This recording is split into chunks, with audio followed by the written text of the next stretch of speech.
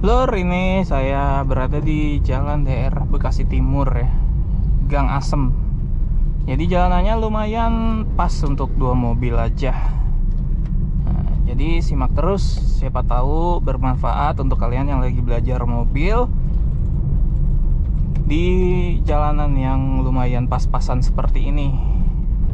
Dari patokan body Mau giginya gimana Kalau ada objek misalnya mobil parkir, motor parkir di sebelah kiri kita harus seperti apa. Jadi simak terus lur ya. Ini saya juga sambil baca map ya. Karena saya tadi habis dari masang towing bar lur. Nah, jadi saya belum begitu hafal jalanan di sini. Cuman yang pasti jalanannya kecil ya. Pas-pasan. Oke, yang pertama dari patokan patokan bodi kiri yang penting ya karena terlalu kiri juga berbahaya terlalu kanan juga berbahaya. Nah, jadi untuk patokannya itu kalau dari pandangan jauh itu ya setir kita lur. Setir kita tangan kita seperti ngepel seperti ini. Nah itu untuk ke depan.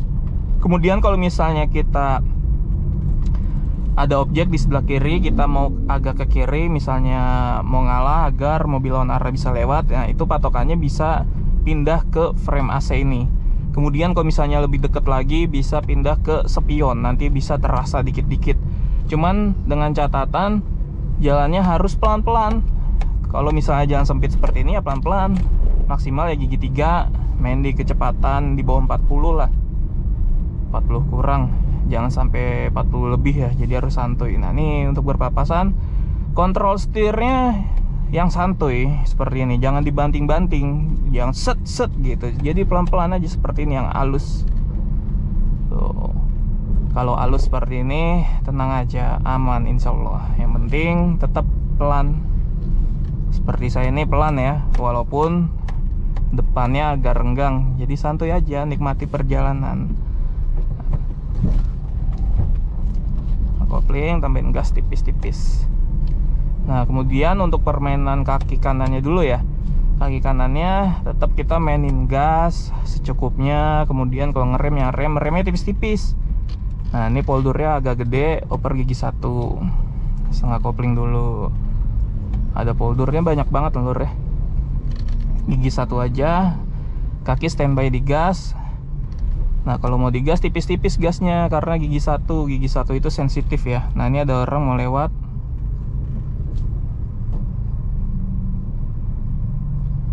Rem tangan setengah kopling, tambahin gas, rem tangan lepas, tetap setengah kopling ya. Karena itu tadi ada poldur, jadi harus ditambahin gas dikit. Oke, kita meluncur lagi.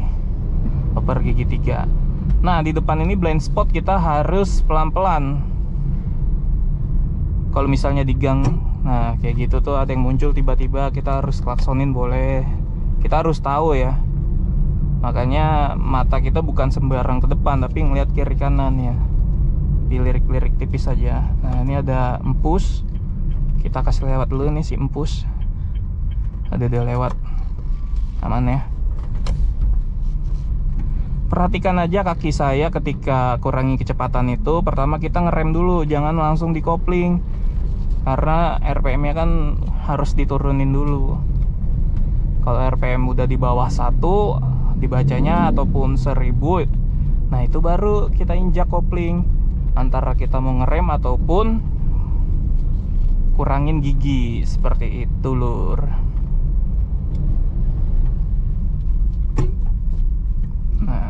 kita pasang sen kanan. Lihat spionnya kita belok kanan. Ah dia ngebut lagi lur. Asapnya ngebul banget ya. Kira dia mau berhenti ngobrol sama temannya gitu. Eh tarik gas lagi. Cuman gak apa-apa. Nah ini kita tinggal stabilin aja. Gasnya itu jangan digas nanti lepas gas lepas jangan jadi stabilin aja. Kalau mau dilepas pun pelan-pelan. Nah ketika kita nginjak gasnya lagi juga pelan-pelan selalu pelan-pelan yang halus mainnya. Karena kalau misalnya nggak halus itu mempengaruhi laju mobil kita lor nah ini rem dulu baru oper gigi 2 kurang pelan lagi oper gigi 1 nah di depan belok kiri ya. Kita agak kanan dulu dikit lihat spion kanannya karena ini gang sempit lur ya. Nah, baru lewat spion baru kita belok. Jadi depan aman bodi belakang kita pun aman.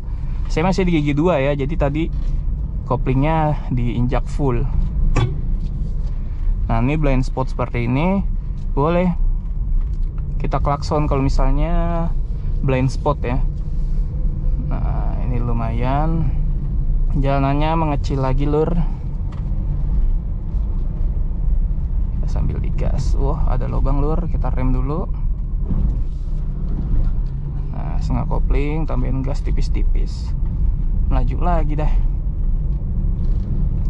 Ada poldur kita rem dulu jangan dikopling. Nah udah seperti ini baru dikopling boleh. Oper gigi deh. Nah, main gas dikit. Oper gigi dua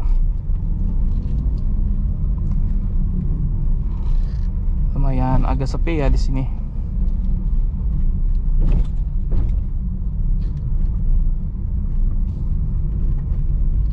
Rem kopling full.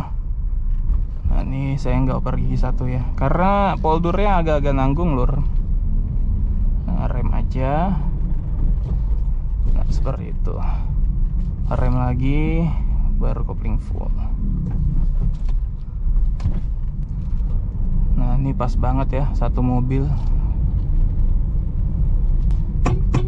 Boleh di klason kok seperti ini soalnya titik buta banget lur. Tanjakan lur. Nggak kopling gas. Nah seperti ini. Kiri deh. Jadi seperti itu. Kalau tanjakan rumusnya setengah kopling gas. Jangan sampai nggak diisi gas nanti mobilnya mati lur kalau nggak diisi gas kalau misalnya kalau nggak mati ya paling mundur. Untuk pahit-pahitnya ya. Oke saya rasa cukup untuk berkendara mobil manual di jalanan yang agak sempit. Kalau ada pertanyaan apa pun yang masih kurang jelas langsung aja komentar. Kurang jelasnya di mana ini saya mau ke kanan dulu. Pasang sen lihat kanan kiri aman. Kita masuk setengah kopling tambahin gas. Balikin setirnya. Oke lur. Semoga bermanfaat. Salam tiga pedal